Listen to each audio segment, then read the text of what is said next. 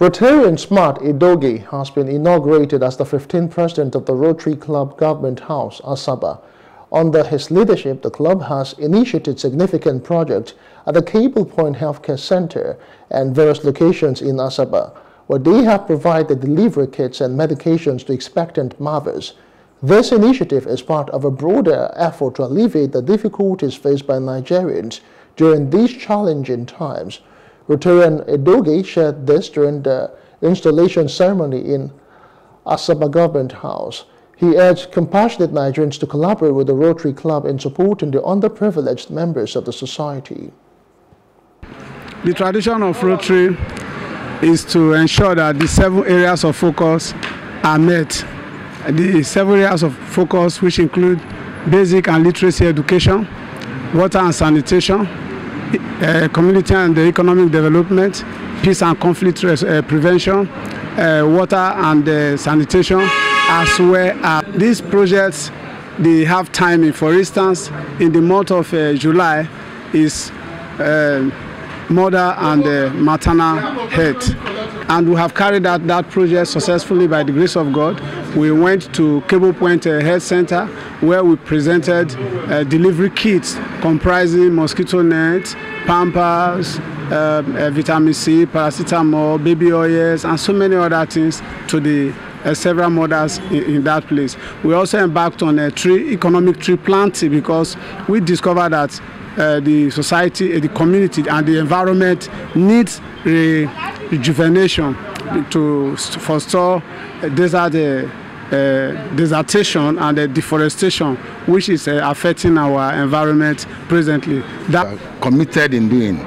We are also we, what it means is that we, we, are sacrificing more to make sure we carry out our, we reach out to our neighbors to, and to, to ensure that we lend that helping hand, which is what we do. So we'll try as much as possible to also, with proper planning, we know whatever that happens in the country, we are, we are within the same country. We are in the same country. So it happens to all of us. So we'll try as much as possible to do a bit, proper management, proper planning of the resources we have.